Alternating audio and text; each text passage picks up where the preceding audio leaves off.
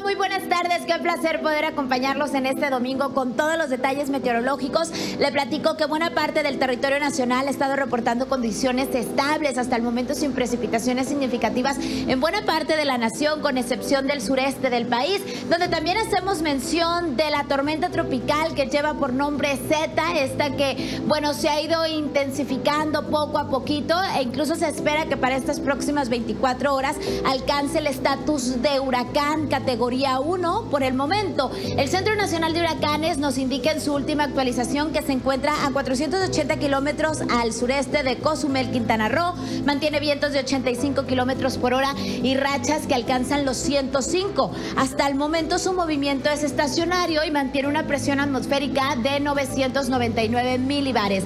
El pronóstico para las próximas 24 horas, ya le comentaba, es que alcance el estatus de huracán categoría 1 e incluso para este próximo inicio de semana, sobre todo al concluir, se espera que esté tocando tierra cerca del norte de Quintana Roo, por supuesto como categoría 1.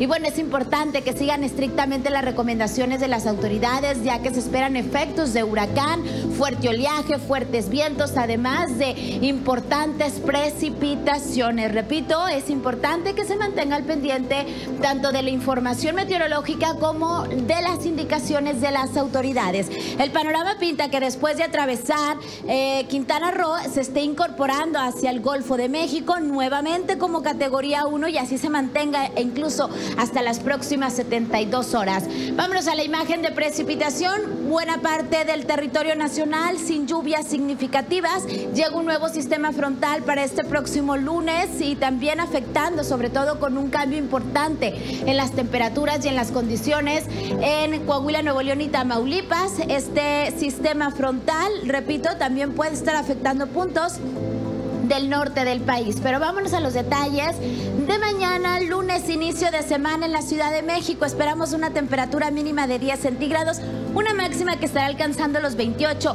Cielo completamente soleado y ambiente caluroso. Caluroso también para la ciudad de Monterrey con una máxima de 32, mínima de 21, parcialmente soleado, tiempo caluroso y brumoso y comenzará a soplar el viento, provocando un descenso importante en la temperatura a partir del próximo martes, 11 con 15, ¿no? Con nubosidad parcial el viento soplando y ausencia de nubes para Aguascalientes, Zacatecas y San Luis Potosí. Valores mínimos entre los 8 y 10 y máximas de 24 a 28 grados. Para Toluca, tiempo frío de 4 grados, máxima de 24. Acapulco, Huatulco e Iztapa, valores de inicio entre los 24 y 26 y máximas de 30 a 31. La oportunidad de precipitación reportándose para este próximo inicio de semana. Un panorama completamente diferente.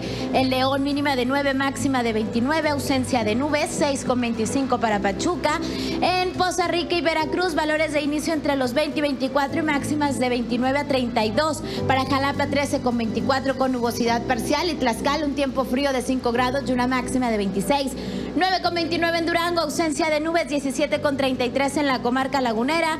Para Obregón, Los Mochis y Culiacán, ausencia de nubes, valores mínimos entre los 19 y 21 y máximas de 30 a 36 centígrados. Hasta aquí mi reporte del pronóstico del tiempo. Los espero aproximadamente en una hora. Quédese con nosotros.